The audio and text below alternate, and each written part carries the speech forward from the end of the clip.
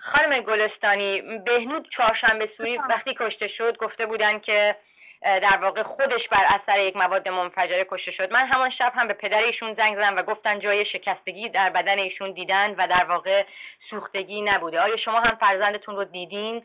حالا در آستانه بله. سالگرد تولدشون هم هستیم. اگر صحبتی دارید بفرمایید. با تشکر از زحمات شما. راستش من اصلا فرزندم رو ندیدم. یعنی نمی‌تونستم ببینم. طاقتش ندارم. نداشتم و نداشت ندارم که جوونی رو اینجوری ببینم. ولی با توجه بله. اینکه پدرش دیدن امهشون هم دیدن مردم که جمع شده بودن اونا هم دیدن و دوستاشون شاهدین بودن گفتن که هیچ آثار سوختگی تو بدنش نبوده. گواهی پزشکی قانونی دیگه از اون بالاتر پزشکی که ایشون رو کالبوس کافی کردن سه خون از تو در آوردن قلبش کلیهاش یکی از بیزاش تریکیده بود. یکی از استخونای رونش شکسته بود. سرش داغون بود.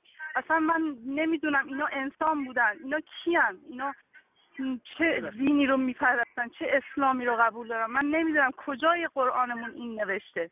یه جوونی رفته برای شادی رفته برای اینکه این رسم دیرینمون رو پاس بداره. مگه چه گناهی کرده بود؟ از دانشگاه برگشته بود که با دوستاش بره شاد باشه. آیا آیا تاوان شاد بودن اینه؟ خانم گلستانی آیا تا به حال کسی از مسئولین برای دلجویی یا پیگیری به منزل شما اومدن؟ نه هیچ کدومشون هیچ کدومشون نیومدن بگن شما زنده یا مردین واقعا ما فقط جسممون وجود داره. واقعا از درون داغونیم. بعد از 20 سال زحمت بچه‌مون دانشجو مهندسی مکانیک دانشگاه سراسری کردم با کارمندی نتیجه شده این آخه به چه گناهی بچم کشته شد؟ من فقط می‌خوام بدونم بچه من چیکار کرده بود.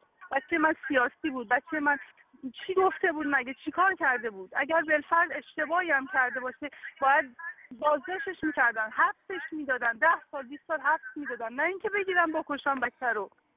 اگه بچه خودشون بود چه می‌کردن؟ خانم گلستانی دستگاه در دستگاه قضایی پرونده ای تشکیل دادیم. پدرشون تو مصاحبه‌ای که در گذشته انجام دادن در واقع این رو به من گفتن که پیگیری قضایی کردن و شکایت هم کردن. آیا نتیجه داده این شکایت؟ فقط یه شماره به ما دادن. بریم چند وقت دیگه مراجعه کنید بریم ما جواب میدیم پیگیری می‌کنیم ولی هیچ هیچ پاسخی به ما ندادن. خیلی ریلکس میگن که مشکلتون چیه؟ میگن بابا بچه منو کشتن. میگن گفتم بسیجی بودن لباس سختی بودن. گفتم میگن از کجا می‌دونیم؟ خب شاهدین بودن. یه خانومی هم فیلم گرفته از اون صحنه که تو سایت هم گذاشتن. بعد این ماشینی که اومده اینا رو این ماموران اینا رو جمع کرده برده شماره سمندی بوده شماره رو دوستاش گرفتن.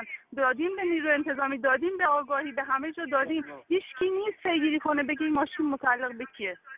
مگه میشه؟ آدم وقتی از این من سال آخر رو شمارش رو یادداشت می‌کنن عکس فیلم می‌گیرن فردا برای جریمه میاد. چطور من این ماشین بازداشت میشه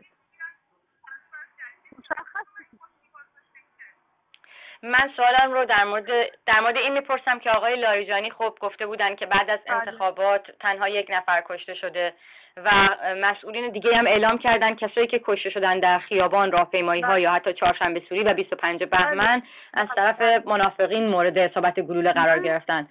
شما پاسختون چی هست؟ به عنوان یک مادر چه در که نمیذاشتن من بهشون دستم بهش برسه. به هر طریقی بوده اجازه ندادن می‌خوام بگم بچه قاتل بچه. من کیه؟ دلیلش چیه؟ پس چرا جواب نمیدن؟ چطور آقای قرایی کشته شده؟ فردا صبح قاتلش پیدا هر کسی که و کسای دیگه. بچه من بعد از شیش ماه جوابگو نیست. مگه میشه این کشور قانون نداره؟ مگه دادگاه نداره؟ مگه این همه حقوقدان وجود نداره؟ پس اینا برای چی کشورن؟ به چه گناهی آخه؟ یکی بیاد به من بگه بچه من چه گناهی کرده؟ فقط من می‌خوام همینو بدونم.